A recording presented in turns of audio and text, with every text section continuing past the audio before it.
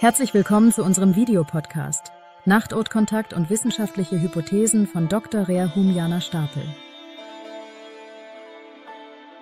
Haben Sie jemals das Gefühl gehabt, dass ein geliebter Verstorbener Ihnen ein Zeichen sendet? Bleiben Sie dran, um die faszinierenden wissenschaftlichen Hypothesen hinter diesen Phänomenen zu entdecken. Hinterbliebene berichten weltweit von spontanen Nachtotkontakten, unabhängig von Kultur, Religion oder Alter. Diese Kontakte werden oft als beruhigend und positiv empfunden, doch viele zögern darüber zu sprechen. Warum? Die Angst, für verrückt gehalten zu werden, ist groß. Wissenschaftler haben drei Hypothesen entwickelt, um diese Phänomene zu erklären.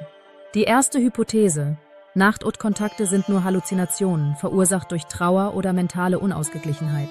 Doch diese Hypothese wird durch Forschungsergebnisse in Frage gestellt. Die zweite Hypothese, das Bewusstsein bleibt nach dem Tod bestehen und ermöglicht telepathische Kommunikation. Diese Hypothese stützt sich auf die außersinnliche Wahrnehmung von entfernten Ereignissen. Die dritte Hypothese, Nachtotkontakte sind objektive Phänomene, die in der physischen Welt stattfinden. Sensorische Phänomene wie visuelle, auditive, taktile und olfaktorische Wahrnehmungen werden untersucht. 31 Prozent der Studienteilnehmer berichteten von einem starken Gefühl der Präsenz der verstorbenen Person. Diese Präsenz wurde oft als eindeutig und lokalisiert wahrgenommen. Visuelle Wahrnehmungen reichen von nebligen Silhouetten bis zu festen, lebendigen Erscheinungen. Diese Erscheinungen können überall auftreten, im Haus, im Freien, sogar im Auto oder Flugzeug. Taktile Wahrnehmungen wie Berührungen, Umarmungen oder Küsse sind ebenfalls häufig. Mehr als die Hälfte der Befragten empfanden diese Berührungen als vertraut und typisch für den Verstorbenen. Auditiv Wahrnehmungen, wie das Hören der Stimme des Verstorbenen, sind ebenfalls weit verbreitet. 88 Prozent der Befragten konnten die Stimme klar von alltäglichen Gedanken unterscheiden. Olfaktorische Wahrnehmungen, wie der typische Duft des Verstorbenen, sind ebenfalls häufig. Diese Gerüche können Parfüm, Tabak oder sogar der Körperduft des Verstorbenen sein. Wissenschaftler empfehlen, das Bewusstsein für diese Phänomene zu erweitern. Dies könnte den Betroffenen helfen, ihre Erfahrungen besser zu verstehen und zu verarbeiten.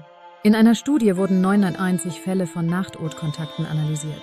Die Ergebnisse stützen vor allem die zweite und dritte Hypothese. Viele Teilnehmer berichteten, dass die Wahrnehmungen sich deutlich von normalen Gedanken unterschieden. Die verstorbene Person wurde oft als wirklich anwesend wahrgenommen. Verifizierbare Informationen wurden oft durch diese Kontakte erhalten. Dokumentieren Sie Ihre eigenen Erfahrungen, um sie besser zu verstehen. Notieren Sie, wann und wie Sie den Verstorbenen wahrgenommen haben. Dies kann Ihnen helfen, die Botschaften besser zu interpretieren und Sicherheit zu gewinnen. Bleiben Sie offen für die Zeichen Ihrer Lieben und erinnern Sie sich, Sie sind nicht allein. Liebe überdauert den Tod.